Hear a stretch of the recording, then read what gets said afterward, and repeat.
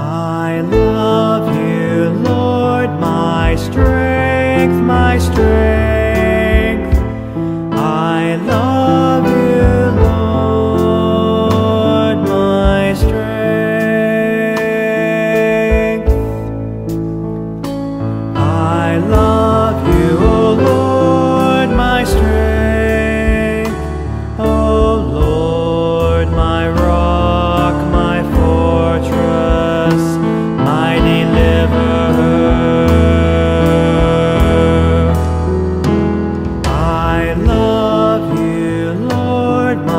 My